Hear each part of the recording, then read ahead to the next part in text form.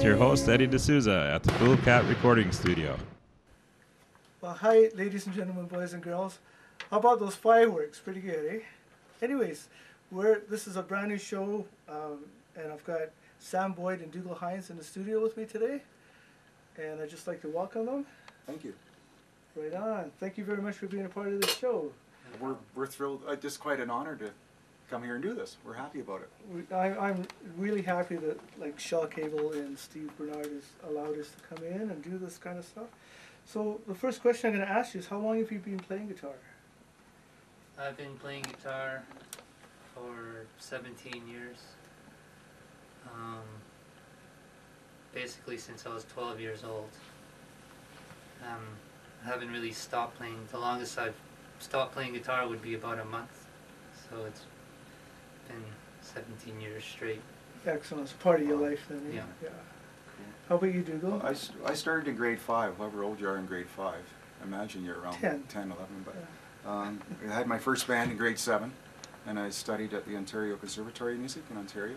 So I learned notes and stuff like that back in the day. I used to take the Greyhound bus and, on every Saturday, take my, for my lessons. But that was, and I'm uh, getting up there now. So anyway, it, if I'm, I'm trying to do the math here. I was, I've been playing for about 40, 40 years, 50 years. I guess. I don't know. If, yeah, holy moly, long time. yeah. But um, I, but I took a break. Like I didn't do it go as intense as Sam there. I, I kind of started out playing guitar, then I let it go for 30 years. You know, had a, had- had a life in between there, and then all of a sudden, it's only been the last four, three or four years I started playing again, and uh, back at it. Well, it's sounding really good. Thanks.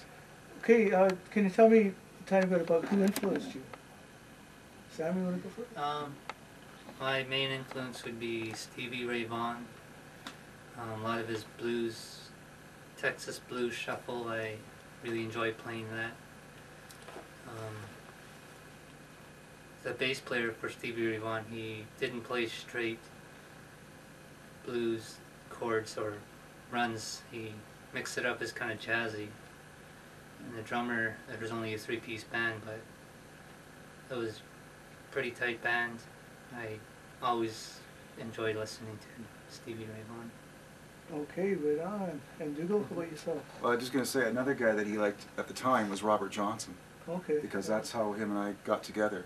Because he was playing his slide downtown, and he, he played Robert Johnson for me, and then and then when we got together and played for the first time, I played uh, Pride and Joy, Yep. Stevie Ray, and it was that was it's been history ever since we did that. We just we bonded there because we both have a full appreciation for Stevie Ray. Stevie Ray. And I, sure. I recently, like, anyway, I'll, I'll get into that later, but uh, the music that influenced me, I guess, in the, in the time, I started out listening to Jimmie Rodgers on the Victorola. That's how old I am. Used to have to crank the old fat records out. Who? We're talking about, yeah, okay, Jimmie Rodgers, but out of that came Hank Williams and that, uh, along the line, Okay. country music. So I grew up, I was exposed to uh, the Don Messer's Jubilee. My father introduced me. My father was a bluegrass into country music and bluegrass, listening to the Grand Old Opry on Saturday nights on the radio, and uh, and then uh, from there I kind of went into uh, folk music, and uh, and then I got into uh, uh, blues. Like the folk music was mostly Paul Simon, Simon and Garfunkel. That was my influence in the day, and Bob Dylan, because I grew up in that, and Neil Young, Cat Stevens, that generation. I guess early '70s. I was really into that, Mhm. and I never really discovered Stevie Ray until about, God, about 10 years ago. And I thought, I remember in 1980 when I saw the album Stevie Ray Vaughan. I lived in Smithers, and I, I never really clicked. You know, I guess it's been YouTube. It's helped me a lot. I've learned a lot about Sure, music. yeah. Well, anyway. that brings us to the next question. What do you listen to now? What bands are really influencing you? yeah. Um, I'm basically mostly go on YouTube and listen to all the songs I used to listen to in high school, like Cranberries, um, Smashing Pumpkins. I guess I grew up with that, and now that I'm older, I'm sort of going back to that influence. And Dougal, what do you? Could say Simon and Garfunkel, Bob Dylan. Then I didn't get. Then I got into Jimi Hendrix, and oh my, went that whole gauntlet of music. But uh, I, I, I'm uh, Hank Williams is the one that's come back. To, like I've come back to that. Like I went through all, all the stuff that we listened to, and this, all of us listened to the music in the '70s. I dropped out of music in the '80s, except for Bruce Springsteen. I still liked him and Tina Turner, because they said, and Bryan Adams. They had some good hits, and uh, and now I'm listening to Bryan Adams again. It's weird. He's got. A, I just showed Sam tonight. He's got a new video out, the soundtrack to uh, Old Dogs. The movie's a dud, but this, Bryan Adams is doing some really cool stuff. Okay, so now where do you want to take your music now? Um, basically, wouldn't mind starting a band, finding a bass player can play. That? Any bass players out Yeah. there? Sam Boyd, here's his phone number. Um, I really like to play funk. Um, I attempt to play jazz. I know blues like front to back. And I do some hard rock, heavy metal. I sort of mix it up, even country like rockabilly. Yeah. But it would be cool to find a drummer and a bass player, start something. So in future you'd like to Yeah. focus on having a full band, Yeah. Mm-hmm. play nice loud rock and roll. Yeah. How about the venues? What kind of places are you looking at playing? Um, probably were around Quesnel at first. Um, I know a lot of people around Redstone and Nazko. Um, I'm currently in a band where I'm just playing guitar with a couple of guys I know, and they play Nemiah Rodeo, Redstone Rodeo. So I think we're going to be playing at Sylvia's. So I'd like to thank Sam and Dougal for coming in. This is You're the Star, and we're going to listen to a couple of their videos right now. Heading on down to Troll.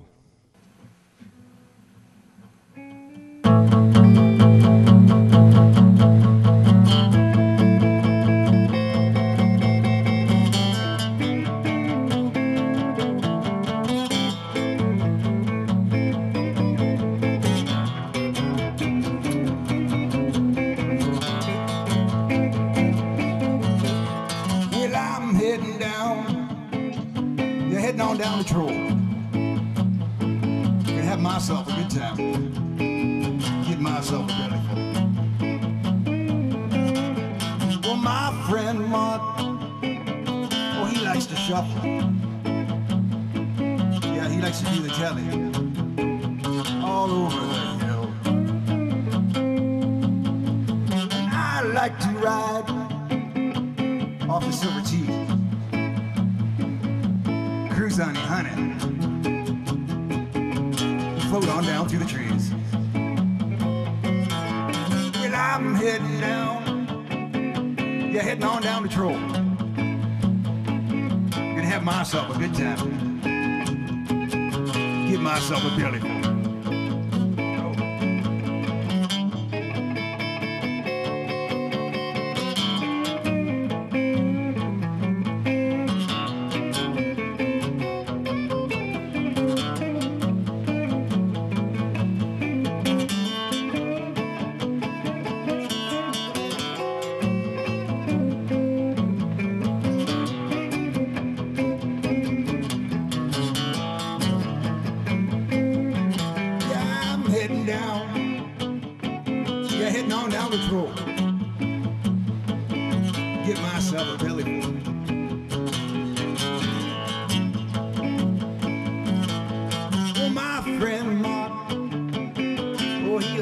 shuffle.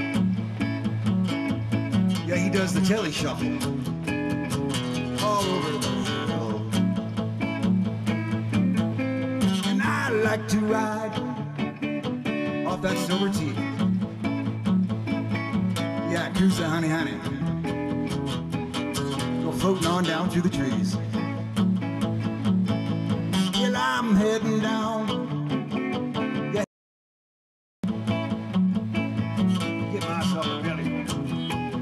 White fluffy stuff. Yeah, you know what I'm talking about.